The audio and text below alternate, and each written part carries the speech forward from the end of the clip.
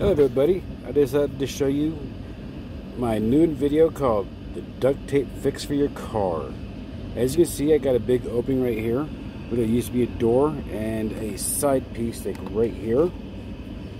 And you notice how it looks like really really ugly in there and shit could just fall through. Like I said I used to have a door right here. It broke off and I couldn't put it back on and it left a big gap here when I did. So what I'm going to do is I'm going to show you the duct tape fix for cars. You're going to need duct tape to start off with. And it's always good to have some good handy wipes to clean your area up. Because this way the duct tape will stick a lot better. So as you can see, I'm doing pretty good. I got I got my uh, rags right here. And as you go through it, you try to clean the area as best as you can. Because you want this duct tape to stick really, really good. I mean, you want to clean the whole thing, including side cup holders, you know. Everywhere you're going to try to stick some duct tape. I mean, as you can sort of see, you can already see my previous duct tape line right here. So I, I used basically this colored duct tape with this colored car. And as you can see, it doesn't really mix that well. it's sort of ugly. It's been on there for a while. Like I said, my new, my new duct tape is silver. As you see, I, I did clean it up pretty well. And I don't know if you can see it that well, but there you go. It's almost matching.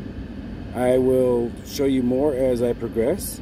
Until then, see you then. Hey there, I am back. I forgot to mention that you also need a few other tools. You're going to need a razor blade or a razor knife and another tool that you can use to like push the duct tape inside the cracks so it doesn't cut it. And as you can see I've sort of laid down some of the base work already. I mean yeah it's not pretty yet. That's at that big hole right there. But when I'm done you won't see that hole. It'll still be ugly but hey ugly still works and fixes the problem. It's still good duct tape work. And when I'm done you'll see more. Bye.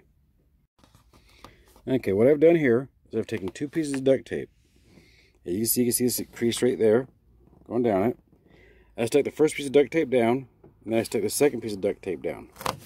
And what I'm doing here is I'm taking it and I'm tightening it and pulling it down. No, okay, sort of pulling it down. I have to fix that. That's not a problem. It's duct tape, and it's good, but stuck down all the way. But make it tight as you can.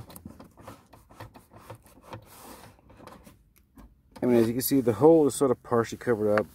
You can still see it right there, and you can still see it right there. But when I'm done, you won't see it at all, and I will show you more. And, of course, this video is going to be edited, so hopefully a lot of stuff's going to be taken out of there. And for all you guys watching, my quick fix is done.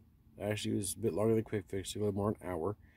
But all the tools you're going to need, I was wrong, I need more tools than I thought, was the razor knife to cut in the corners, as you can see. That tool right there with the bottle opener on it, so you can actually tuck it into the corners and the, the stuff like that. Toothpicks to help clean, cleaning towels, and duct tape. And as you can see, as I move all the crap from the side, it may not look that pretty, but you know what? We're not going for pretty we're going for functional. And if you look,